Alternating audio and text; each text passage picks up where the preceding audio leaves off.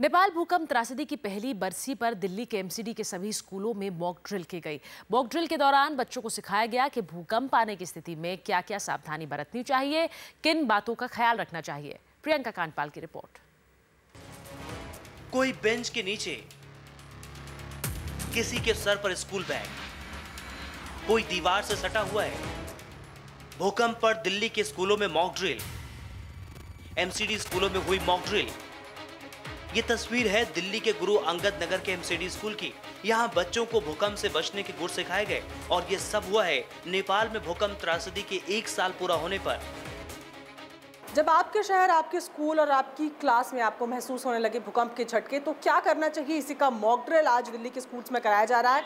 एक ऐसे ही क्लास में हम आपको लेकर आए हैं, जहाँ पर स्टूडेंट सायरन बचते ही जो पोजीशंस हैं वो ले चुके हैं। कुछ स्टूडेंट्स को आप देखेंगे कि किस तरीके से डेस्क के नीचे हैं। कुछ बच्चे जो हैं, वो उन्होंने कोना ले रखा है और अपने सर पर बैग बैग रखा हुआ है। टीचर को भी आप यहाँ पर देख सकते हैं, जो मॉक ड्रिल इन्हें दे रही हैं, वो खुद भी बेंच के नीचे हैं, सर पर बैग रखा हुआ है। और पूरा आइडिया इसका यही है कि अगर भूकंप की स्थिति में किसी तरीके से कोई छत का सामान टूट कर गिर रहा है तो वो आप अपने आप को उससे बचा सके। सबसे पहला काम यही होना चाहिए कि बिल्डिंग छोड़कर मैदान की तरफ़ आए, लेकिन अगर ऐसे हालात हैं कि आप बाहर नहीं आ सकते तो कुछ इस तरीके से आप अपने आप को सुरक्षित रख सकते हैं।